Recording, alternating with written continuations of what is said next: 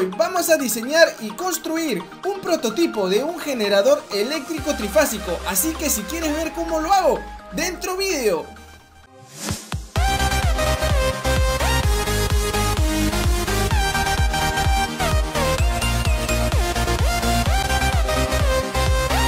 Para iniciar el desarrollo de nuestro proyecto vamos a partir de un motor de lavadora, ya sea uno en el cual no esté funcionando, de que se hayan quemado las bobinas, porque al final podemos nosotros rebobinar, en este caso para nosotros poder obtener la corriente trifásica en el cual nos estamos planteando. Con mucho cuidado con la moladora le vamos a quitar los seguros, aquí ya le estamos quitando los cuatro anclajes que tiene en este caso y podemos observar aquí la parte del estator y la parte del rotor en este caso que podemos observarlo con una polea. Luego de esto lo que nosotros vamos a hacer pues simplemente retirar todo el alambre de cobre porque este es un motor de dos velocidades que trabaja con una tensión monofásica. Ahora, ojo al dato, lo más importante que vamos a requerir a partir de este momento es nosotros poder hacer el cálculo geométrico del estator.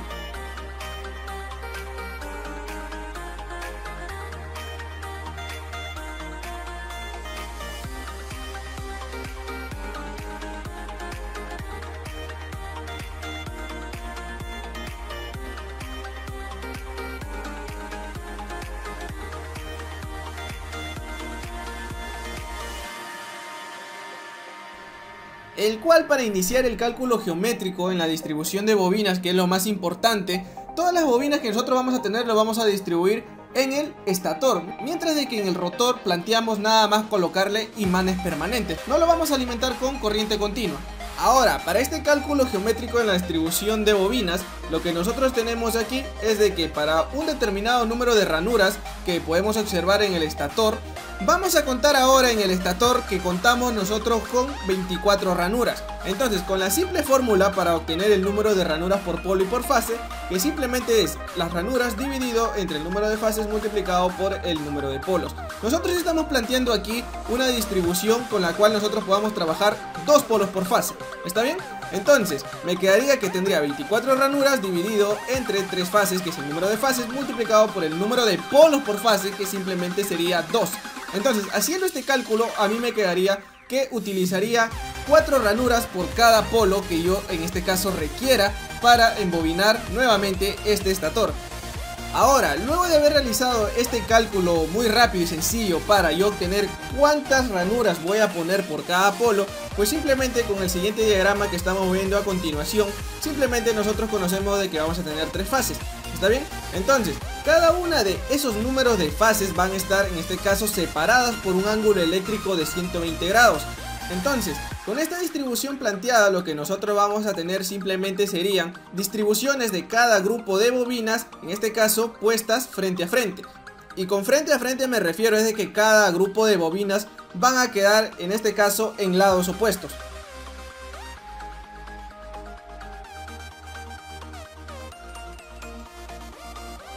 Luego de haber realizado este breve cálculo, ahora con todo el alambre esmaltado que hemos recolectado del que en vida fue el motor, simplemente ahora lo que nos queda es rebobinar nuevamente con este cálculo que hemos hecho. Como dato adicional medimos el calibre de este alambre esmaltado, el cual nos daba un calibre 25. Y como podemos observar cada grupo de bobinas, en este caso, que van a quedar frente a frente, como ya lo había mencionado, cada uno pues simplemente tendría un inicio y un final. Luego continuamos y continuamos, tenemos que en este caso hacer 6 bobinas en todo el estator, tenemos que distribuirlo geométricamente con un ángulo eléctrico de 120 grados entre cada una de las bobinas de las diferentes fases, simplemente continuamos rebobinando nuestro generador. Luego de haberlo rebobinado ya me va a quedar de la siguiente manera como podemos apreciarlo. He dejado en este caso tres alambres para un lado y tres alambres para el otro. ¿Esto qué significa? Pues simplemente significa de que uno es el inicio y que los otros son el final. Y es aquí donde ocurrió uno de los problemas donde al tratar de reciclar ese alambre esmaltado posiblemente se haya dañado ese recubrimiento de esmalte, el cual hacía de que luego de yo haber probado con una prueba de continuidad entre las bobinas pues simplemente empezaban a hacer corto con quién con el estator. Y entre bobina y bobina también. Así que eso me decía de que ya estaba ocurriendo algo mal y no podía reutilizar yo el alambre esmaltado que prácticamente era del motor anterior. Así que nuevamente manos a la obra, compramos en este caso 150 metros de alambre esmaltado calibre 26, ahora sí compramos un calibre más, en este caso ya sabemos de que mientras más calibre más delgado se hace el alambre. ¿Por qué requerimos 150 metros? Pues que simplemente hicimos un cálculo muy rápido y muy aproximado, el cual me decía lo siguiente. Medí primeramente cuánto era la longitud de una vuelta que yo podía darle, en este caso en las cuatro ranuras del estator y cada vuelta a mí me daba una medida de 25 centímetros. Entonces, se planteó rebobinarlo por cada 100 vueltas que se dé por cada grupo de bobinas que vamos a tener por fase. Entonces, en cada fase lograríamos tener 200 vueltas. ¿sí? 100 vueltas por bobina. Entonces, teniendo yo de que una vuelta era 0.25 metros y luego yo requería para el total, requería 600 vueltas, pues simplemente una regla de 3 simple, un cálculo muy sencillo, simplemente resolviendo me quedaba un valor de 150 metros de alambre de cobre esmaltado de calibre 26. Ahora sí, y una vez hecho ese cálculo ya podemos ir con un monto aproximado de cuánto alambre de cobre vamos a necesitar para poder comprarlo. Entonces procedemos a rebobinar nuevamente fase por fase, bobina por bobina. En este caso luego de haber terminado ya el rebobinado vamos a poner en práctica todos nuestros dotes de costura para nosotros poder asegurar en este caso cada una de las bobinas unidas entre sí. Porque puede ocurrir el caso de que en cierto movimiento las vibraciones pueda hacer de que estas bobinas de una u otra manera terminen aflojándose. Así que cosemos muy bien, le metemos toda la costura posible, apretamos cada una de las bobinas para que se quede como uno solo y prácticamente rigidicemos toda esta estructura. Una vez terminado la costura del grupo de bobinas en ambas partes, vamos a proceder en este caso a los terminales a retirarle el esmalte en cada una de las puntas. Este proceso es muy requerido porque como ya sabemos la función del esmalte simplemente es evitar de que entren en contacto una con otra espira. Luego ya de haberle retirado el esmalte a cada una de las puntas, eh, procedemos aquí, en este caso ya me volví a asegurar nuevamente de que no entre en corto ninguna bobina con ninguna otra o de que el grupo de bobinas con el estator, en este caso entren en corto y con esto ya nos aseguramos de que nada más haya continuidad entre la entrada de una bobina y la salida de otra. Cada uno, como ya sabemos, vamos a tener tres grupos de bobinas, el cual simboliza cada una de las fases. Y bueno, no sé por qué este paso de hacer la prueba de continuidad lo hice después de haber cosido todas las bobinas entre sí. Porque simplemente si hubiera ocurrido algún error hubiera tenido que desatar todo de nuevo y encontrar por dónde se estaba haciendo en este caso ese falso contacto. Pero teniendo fe de que no iba a pasar nada malo, pues simplemente todo terminó muy bien, no hubo ningún corto entre bobina y bobina o bobina y estator. Ahora sí ya procedemos con el cautilla, echarle un poco de estaño a cada una de las salidas para en este caso poder conectarlo con cada uno de los cables que ahora sí van a ser los cables de los terminales que van a ir a la cajita en este caso de terminales donde vamos a poder nosotros hacer las conexiones ya bien sea una conexión delta o una conexión en estrella. Para este caso utilicé cables de diferente color para poder diferenciarlo muy bien cada una de las fases que vamos a tener Simplemente utilicé un cable marrón, un cable celeste y otro cable celeste que al final lo terminé pintando con un poquito de blanco para poder diferenciarlo. Ahora sí ya tenía tres cables de diferente color, así que lo único que me quedaba es nada más soldar muy bien los terminales con cada uno de los cables para ahora sí poder finalizar ya con todo lo que yo tenga que ver todo con el estator. Una vez finalizado con esta parte del estator, ahora sí ya vamos a proceder con el rotor. ¿Por qué le estamos en este caso quitando cierta parte del rotor? Porque en este caso es un rotor de un motor de lavadora que era antiguamente, que ahora se va a volver generador. Y simplemente lo que pasa aquí es de que era un rotor de jaula de ardilla. Entonces retiramos ciertas porciones del rotor para nosotros poder colocar ahora sí los imanes permanentes como habíamos dicho. Nada más se consideró para esta primera prueba dos polos, o sea de que con los imanes yo iba a tener un polo sur y un polo norte, tal y como lo podemos observar. Entonces luego de eso ya procedemos ahora sí en el rotor, vamos a asegurar muy bien los imanes con un poco de super glue, vamos a echarle Soldimix para fijar los imanes, porque recordemos de que los imanes van a estar sometidos a rotación, van a estar sometidos a una fuerza centrífuga. Entonces eso puede hacer de que los imanes puedan, posiblemente salgan disparados del rotor, así que es mejor asegurarnos. Y qué mejor que adicionarle con Soldimix. Y así como lo podemos apreciar aquí, pues simplemente aquí nada más podemos observar la parte del polo norte, todo muy bien sujeto con su Soldimix. Ya luego vamos a ver qué es lo que sucedió y qué modificaciones realizamos eh, durante este proyecto. Ahora sí viene la parte divertida, tenemos que ensamblar ahora sí todo lo que ya tenemos. Tenemos aquí los dos soportes, en este caso que eran del antiguo motor, para nosotros en este caso poder soportar el eje. Colocamos primeramente el rotor, aquí sí hay que tener mucho cuidado porque antiguamente como el rotor no estaba magnetizado, no ocurría nada si nosotros se apegaba un poco el rotor con el estator, pero ahora sí, como ya está magnetizado, tiene cierta fuerza de atracción y es lo que hace un poco más difícil en este caso el ensamblado. Pero no hay nada que un poco de fuerza y voluntad no lo solucione, así que simplemente hay que continuar nosotros con lo que venimos haciendo, hay que tener toda la fe del mundo.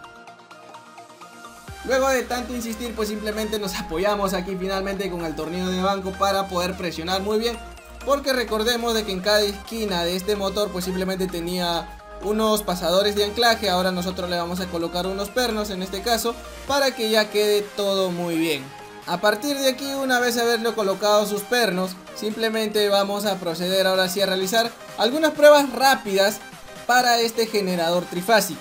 Como bien nosotros tenemos aquí tres terminales, cada uno lo terminé en este caso colocando cuáles eran los de salida, cuáles eran los del inicio, y recordemos de que al final de esto nosotros íbamos a tener tres cables. Tres que eran simplemente el inicio de cada grupo de bobinas y tres que eran la salida de ese mismo grupo de bobinas. Y para esta prueba muy breve lo que utilicé fue un taladro eléctrico para poder hacer girar el rotor de nuestro generador. Y como era una prueba muy breve, lo que procedí simplemente unir todos los puntos de la, ya bien sea la entrada o la salida de las bobinas, para poder hacer así en este caso un punto común y establecer una conexión en estrella. Luego de esto, pues simplemente las tensiones que me arrojaba, en este caso para cada prueba, eran muy bajas. Por ejemplo, entre la fase 1 y la fase 2 me dio un voltaje de 1.5 voltios, entre la fase 1 y la fase 3 me dio 2.4 voltios, entre la fase 2 y la fase 3 1.5 voltios, entre la fase 1 y el neutro 0.83 voltios, fase 2 y neutro 1.2 voltios y finalmente entre la fase 3 y el neutro 0.82 voltios. Es aquí donde nos preguntamos cuál es el motivo por el cual son tensiones muy bajas. Posiblemente sea una de las pérdidas que se puede tener entre el entrehierro que vamos a tener del rotor entonces, esas pérdidas pueden ser muy grandes, el voltaje inducido no está siendo el suficiente para nosotros obtener voltajes un poco más elevados porque recordemos que lo estamos moviendo con un taladro de aproximadamente unas mil revoluciones por minuto. No es nada de que el flujo magnético no está cambiando muy rápido como si se puede decir así. Así que luego de estas pequeñas pruebas, lo que ahora se planteó simplemente fue modificar nuevamente el rotor porque estábamos trabajando nada más en el rotor con dos polos. Así que vamos a replantearnos qué es lo que sucedería si le planteamos colocarle dos polos por cada una de las fases, es decir, tener también 6 polos en el estator y 6 polos en el rotor. Entonces, modificamos nuevamente el rotor. Ahora sí retiramos ya toda la jaula de ardilla, nada más se quedaron ciertas delgas que vamos a tener por ahí, las laminaciones de hierro para, en este caso, impedir las corrientes circulantes de Eddy y simplemente Modificamos otra vez el rotor, ahora sí espero sea ya la modificación definitiva. Ahora sí, una vez modificado esto, vamos a proceder nuevamente al ensamble. Ahora sí ya va a ser un poco más complicado. ¿Por qué? Porque vamos a tener más fuerza magnética, en este caso de los imanes. Se va a pegar con mucha más fuerza, en este caso al estator. Así que ahora sí me voy a apoyar por aquí. Si no me equivoco, me apoyé de un martillito para nosotros poder darle unos ciertos golpecitos. Y al final todo quede muy bien anclado. Le pusimos un poco de lubricante en este caso para que el eje pueda rodar libremente. Luego de eso procedemos por aquí a colocarle sus tornillitos como ya bien lo habíamos visto. ¿Y esto para qué servía? Pues simplemente para que al momento de que se esté probando las vibraciones entre el taladro y el generador no provoque en este caso de que se abra y simplemente pueda provocar después ciertos daños ya sea a la persona que lo prueba o ya sea también a la misma máquina. Ahora sí, otra vez teniendo un poco más de fe, vamos a hacerle unas pruebas muy breves y muy rápidas. Simplemente lo voy a conectar nuevamente en estrella porque es más fácil colocarle un punto común y luego medir entre los otros terminales, entre línea y línea. Ahora sí procedemos nuevamente aquí con el taladro a darle movimiento al rotor y simplemente vamos a medir entre línea y línea podemos ver que el voltaje ya ha aumentado hasta 3 voltios 3.5 voltios como podemos observarlo aquí ahora sí ya estamos un poco más seguros de que al aumentar el número de polos en el rotor hemos incrementado también esa variación de flujo magnético que vamos a tener para nosotros poder funcionar nuestro generador como bien ya habíamos dicho, esto se basa principalmente en la ley de inducción de Faraday, donde nosotros si hacemos cambiar un flujo magnético en una unidad de tiempo, pues simplemente vamos a tener una fuerza electromotriz, una fuerza inducida. Ahora sí, ya finalmente dando el visto bueno, ya procedemos ahora sí a conectar cada uno de los terminales del generador en esta cajita de terminales como podemos observarlo nosotros aquí a continuación. Para este caso he etiquetado cada uno de los terminales de las bobinas porque ya sabemos que tenemos un cable marrón para la entrada de una de las bobinas tenemos un cable celeste y tenemos un cable un poco más claro que el celeste, en este caso que representan las entradas y las tres siguientes vendrían a ser pues simplemente las salidas de cada uno. Como cada una de estas plaquitas de la caja de terminales que yo utilicé están conectadas entre sí, pues simplemente utilicé las superiores para conectar los terminales que vienen procedentes del generador y luego las siguientes son las que me van a permitir ya simplemente sea hacer una conexión en estrella o ya sea una conexión en delta. Cada una de ellas tiene su etiqueta, el cual es U1, V1, W1. Esto significa nada más, en este caso ese subíndice 1 que puede ser la, el inicio o entrada de cada una del grupo de bobinas. Luego W2, U2 y V2 lo distribuí de esa manera porque generalmente en las conexiones de motores trifásicos se hace de esa manera. En este caso como lo iba a hacer de una manera diferente con los cables de conexión entrelazados entre ellos, pues simplemente lo distribuí de esa manera. Y ahora sí ya llegó el momento de la verdad, ahora sí ya tenemos que probar, ahora sí nuestro generador, pero ¿qué es lo que pasó? Hubo en este caso un mal etiquete, en este caso para cada uno del grupo de terminales provenientes del generador Así que cuando yo lo conecté en delta, simplemente al darle movimiento al rotor se estaba haciendo cortocircuito, por lo tanto no me medí una diferencia de potencial entre ellos. Así que luego de haber hecho algunas modificaciones, haber cambiado los terminales provenientes del generador, ahora sí estábamos listos para empezar las pruebas en los cuales podemos observar cómo cambian los valores aquí en el multímetro. Podemos observar que primeramente le hice para comprobar nada más de que el problema no era simplemente el generador que no estaba generando, simplemente habían sido las malas conexiones, como ya dije, provenientes de la salida del grupo de bobinas. Así que ahora luego de arreglar, en este caso que fue parte de error mía, ahora sí ya procedemos a hacerle una conexión en delta. En este caso para la conexión en delta lo que más nos interesa a nosotros simplemente son los terminales que supuestamente nosotros etiquetamos. ¿No? Entonces, tenemos por aquí la primera prueba, el cual es la medición entre la conexión de U1, W2 y V1, U2, me da una tensión de 1.9 hasta 2 voltios, ¿no? La primera tensión del grupo de bobina. Vamos a observar de que todos los voltajes que vamos a tener de aquí en adelante son un poco variados. Luego, entre los terminales U1, W2 y W1, V2, simplemente nos da un valor de 2.5 voltios como ya les dije, vamos a ver que en este caso, ¿cuál sería uno de los problemas el cual está ocasionando de que estas tensiones en el generador sean no uniformes? En este caso de que sean desbalanceadas. Luego nuevamente hacemos un acomodo aquí de los terminales para medir eh, finalmente la última tensión que vamos a tener entre U1, U2 y W1, V2 o simplemente la tensión entre B y C. ¿no? Entonces podemos observar, nos da un valor de 1.4, las tres tensiones medidas en esta caja de terminales donde vamos a tener una conexión en delta, simplemente están desbalanceadas. Ya luego al final del vídeo vamos a hacer algunas hipótesis de qué es lo que pudo haber pasado. Ahora ya una vez realizado las mediciones en delta vamos ahora sí a quitar esos terminales y vamos a conectarlo ahora sí en estrella. Como ya sabemos los tres primeros subíndices tenemos nosotros que agregarle un punto común. Ahora sí, tenemos nosotros aquí la primera tensión de línea, el cual sería W2 y U2, el cual me da un valor de 4.7 voltios como podemos observarlo en imágenes. Luego de esto, procedemos nuevamente a cambiar de terminales, ahora sí para medir la siguiente línea.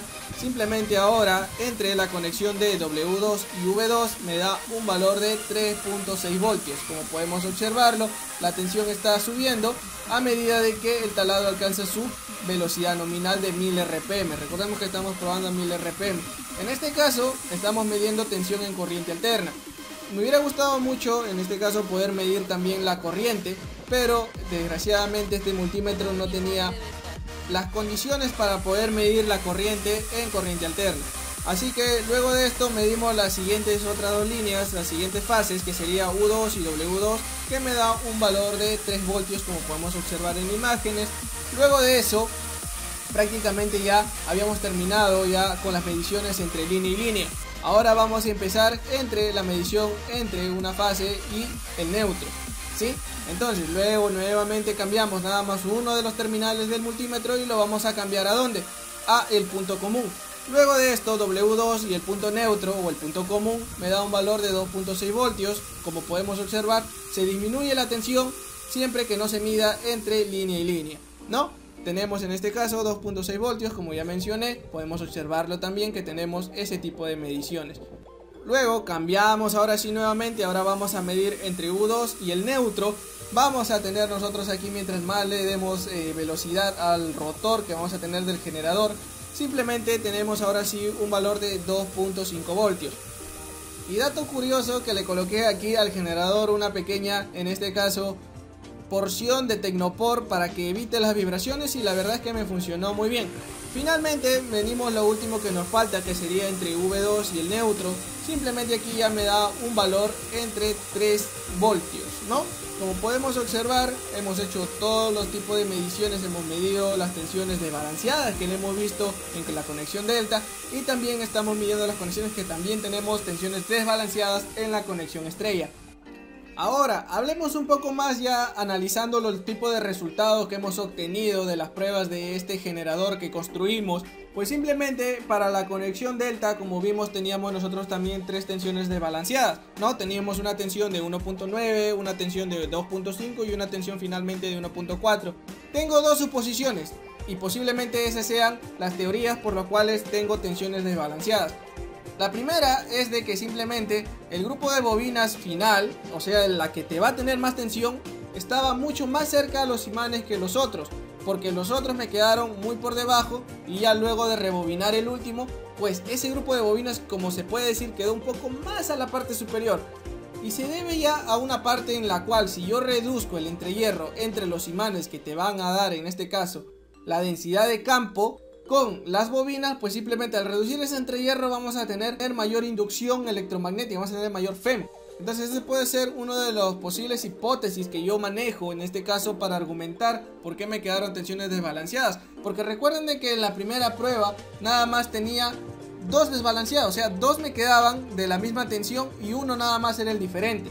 Pero ahora las tres están diferentes. Otro de esos que manejo es de que al momento de que yo en este caso coloqué el rotor, Simplemente no le coloqué unos seguros para que las bobinas no salgan de las ranuras hacia el rotor y no choquen con el rotor. Eso fue luego de haber realizado la primera prueba.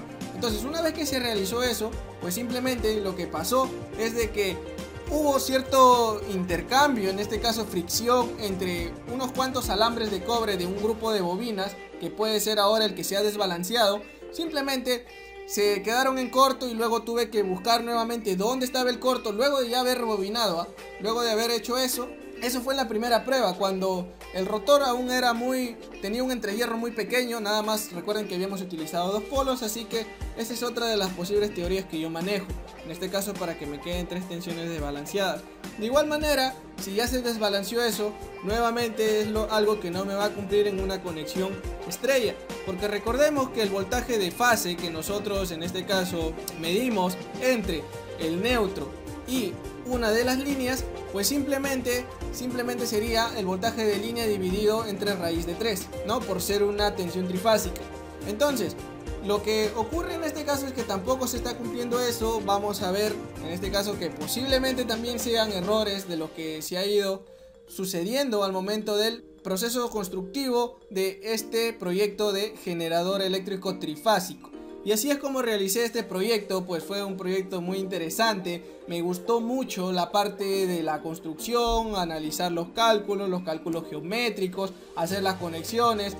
Y aunque hay que tener mucha paciencia al momento de rebobinarlo, pues bueno, al final logramos obtener un generador, generábamos tensiones. Ya me estoy planteando ya de que si yo le aumento el número de polos en el estator, simplemente voy a obtener mayor fuerza inducida en cada uno del grupo de bobinas así que eso puede ser un planteamiento para en este caso poder nosotros mejorar este diseño de este generador para poder incrementar en este caso la salida de tensión que vamos a tener entre cada uno de los terminales porque en sí es un proyecto muy muy interesante me ha gustado cómo lo he desarrollado. Y bueno así es como terminamos y cómo concluimos con esta parte del proyecto de un generador eléctrico trifásico